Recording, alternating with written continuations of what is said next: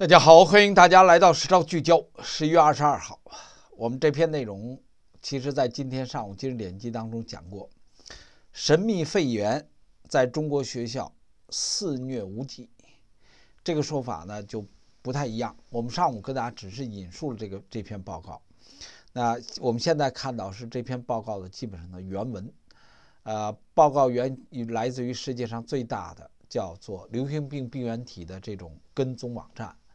那在他比较出名的就是二零一九年十二月份，他发出了等同的报告，措辞差不多。神秘肺炎，那神秘肺炎的原因就是没有咳嗽，没有流感，只有高烧和白肺。这里面它这个东西是这个，只有高烧和白肺，这是不对的，这是不曾出现过的。那而且只出现在儿童身上。呃，死没有人死，他说死亡数很少，他说这个是一个不能完全不能解释的东西，而这种类似不能解释的东西，就跟当初中共病毒的二点零出现状况是完全完完全全一样。他的推论结论基本上是这样，然后在他的报道当中就引用了，这是我们讲原文啊，就引用了啊来自于英国跟美国的不同的医学专家。那医学专家呢？他的解读说法都是对比二零一九年，当时同一个内容、同一个网站发出等同类似的警告的时候，他们并没有太注意。他们认为，OK，这个时间点呢，就是发生流感的时间，所以就变得很正常。这是他们当时的推断。他们承认那是一个巨大错误。那这一次病发是中共庆祝国庆节之后出现的，啊，十月一号国庆节之后出现的。到了十一月份，就出现了巨大的，就是巨大的井喷式的爆发。那是到了十一月份，井发井喷式的爆发。朋友说为什么？李克强死。李克强死，呃，这不不，你可以不接受啊，他就是这种标志性的啊。按照涛哥原来讲过，大个的一定是落在病上。那那而孩子们染病呢，可能是个。是个警示，最终如果它出现改变，现在不知道，在他们来讲不知道这是什么东西，所以被称为神秘肺炎，再次肆虐中国北方，啊，北以北京、天津啊、辽宁为中心的。那我们讨论就是说，看到它是一个初期的表现，呃，那它的症状也无从解释，跟国内的说法也不一样。但是国内呢，北京的这个呃疾病控制中心的主任承认，他说，病毒这种病毒的耐药性太强，那呃已经没有没有一种很特效的药能够对付它。但这种病毒是什么，他也还没说出来。他主要是按照支原体肺炎去说的，就是行走肺炎去说的。但是现在看呢，却被他们被国际环境当中不认可是那东西，所以这是出现的。我们我们跟大家解释，这是出现了根本的差距。那我我在我的角度来讲，我只是我只是警示朋友了啊，我眼睛里看它会延续过来，然后真正大爆发还没有出现。北京、辽宁的医院喘不过气儿来，啊，学校停课，呃，这个这个科学家科学家呼吁中国必须保持透明度，不能再像四年前。呃，他说，关键就是这种东西跟二零一九年当时的状况极其相似，令人毛骨悚然的相似，啊，令人毛骨悚然的相似出现状况，那也就讲说意识大爆发，啊，症状不寻常，啊，肺部发炎、白肺、发烧但不咳嗽，所以他不咳嗽是把这个把这这些人吓坏了。布朗大学流行病中心的主任，呃，Jennifer，啊，令人震惊。他说，所有国家必须要保持警惕，因为中共掩盖，零三年在掩盖，一九年在掩盖，所以这是第三项。你让我说就是第三项。WHO 的传染病医生，这个人叫库帕利，呃，测试公开结果至关重要，可这个这种疾病可能是任何东西。而伦敦大学的专家博士认为，说我最后一次看到中国爆发，未诊就是未诊断的肺炎报告，我认为没什么了不起的，他不会怎么样的。他说那是二零一九年十二月份，我绝不会犯等同的错误。所以这里面就出现了伦敦、美国的布朗大学 WHO，那他们都在对他们都没有确定这种肺炎是什么。呃，大家要明白，这是跟国内的巨大差距，定性上的巨大差距。他们认为这是不明肺炎，而不是行走肺炎。啊，不明肺炎，呃，症状是极不寻常。那而这个，而这个表现出来跟 SARS 二点零是一样。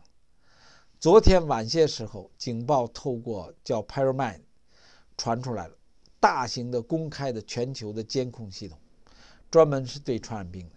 二零一九年十二月份是一样的。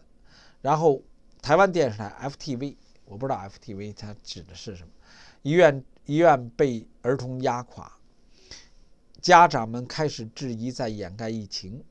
那有人怀疑可能是与支原体肺炎有关。进入冬季一般都是这样，所以这就变成了我们现在看到讨论，就是在国内的讨论方式。但是他们不接受，啊，国际环境中不接受。呃，美国、英国都出现过流感等相应的激增。他他说，但是呢，越来越多的人在医院就诊很不寻常。啊，我们原来认为这是季节性的，但是他说为时过早，任何任何决定都是为时过早。呃，下面就大规模的介绍，呃呃，作为英国的《每日电讯》，他观他就查看了来自于中文媒体的很多介绍资讯，来描绘这整个现在这种呃严重的程度。呃，无法获得支持，无法获得调查。呃，疾北京疾病控制中心说，十月初开始的这种爆炸的病例。呃，有医院的儿童科说需要等待二十四小时，这个我们看到过。那人们在我们在接电话，一天要接上千上千个电话。那到而今天预约的，明天才能看。呃，那国营海宝新闻报，我们不知道这是什么了，说太多病人了，所以在下午就停止接收病人，超过了医院的负负荷承担。呃，辽宁情况更严重。大连儿童医院完全都是挤满了，就是输液的儿孩子。那大连中央医院说，一病人必须排队两个小时以上，全是急诊，没有门诊。呃，学校取消课程，呃，现在呢开始老师开始出现状况，太多人住院，没有咳嗽，没有症状，只高烧和肺结核。肺结核可能就是，其实通常说的是白肺。未经，然后这个监测中心控，这是 Paramide。未经诊断的不明的呼吸道疾病正在广泛爆发，何时开始不清楚，但集中在儿童身上迅速传播极不寻常，这是它的定性。这个定性，我觉得跟对今天所有中国人是一个非常巨大警示。它不是一般的简单的定性，什么不是？呃，报告没有说任何成年人受到影响。啊，他说呢，正在等待有关中国疾病的病因和更广泛的确认。呃，可能是致命的，也呃，因为肺部出现气囊跟脓液。肺炎一般不会传染，那但导致肺炎呼吸道病毒跟细菌会传染，这是病理本身上。然后提到说，行走肺炎通常是疲劳、咳嗽这些都有，但现在的状况，它不是行走肺炎，它不咳嗽，对吧？他不咳嗽，他只是发烧、高烧不退，高烧和白肺，这是不是行走肺炎？所以这就不是支原体肺炎，这个概念就不一样。那我想跟大家分享，就是一直在讲述这些人。在西方的媒体的报道当中，都能够分辨出什么是肢体肺炎，什么不是肢体肺炎。在国内的医院却不没有这个能力，医生却没有这个能力，所以这是一个提出质疑的。也就是说，国内的医院并不是没有这种能力，那是不是医生本身并没有能力发现它是什么，或者在掩盖什么？啊，这些我我觉得都是有可能的。十月初国庆节开始了，然后很猛烈，发现了很多混合感染，这就是国内的说法。那十一月份达到高高峰，而抗药性急剧增加，呃，既抗药性跟耐药性急剧增加，所以这是他表述的。那目前很少有儿童死于行走肺炎，它不是行走肺炎，所以大家就可以感觉出整个报道的矛盾性，就是完全凸显出来。而这种矛盾性在重复着2020年的错误，在重复着一切。非典3.0 c o v i d 3.0。这我你让我说是这样，但他最终爆发不一定在儿童身上，他有可能转移到他所设定的人身上。感谢朋友们。